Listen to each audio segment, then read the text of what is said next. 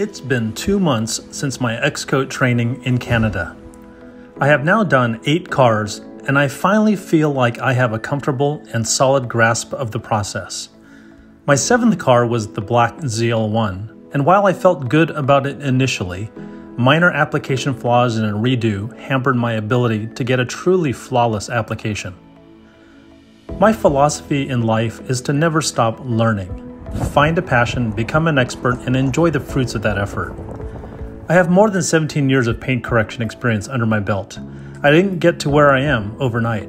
I still have more to learn with XKote, but my ability is finally matching up with my expectations.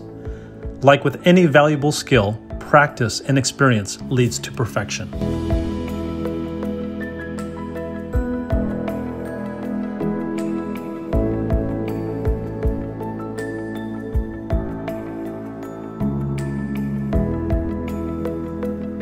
If you are passionate about improving paint, then XKote is a powerful tool that's unmatched by any other process.